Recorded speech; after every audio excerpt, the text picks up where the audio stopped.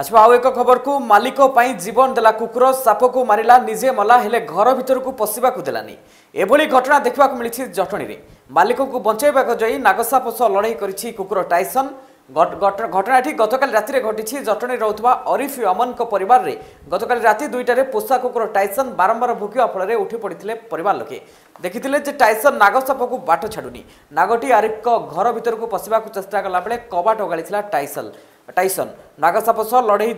ଜାଲରେ ଟାଇସନ୍ ସାପକୁ ମାରିବାକୁ ସକ୍ଷମ ହୋଇଥିଲା କିନ୍ତୁ ନାଗଟି ମଧ୍ୟ ଟାଇସନ୍ର ବାମପଟ ପାଟିକୁ କାମୁଡ଼ି ଦେଇଥିଲା ଆଉ ସାପ ବିଷୟରେ ପୋଷାକୁ ଟାଇସନ୍ ବି ପ୍ରାଣ ହରାଇଥିଲା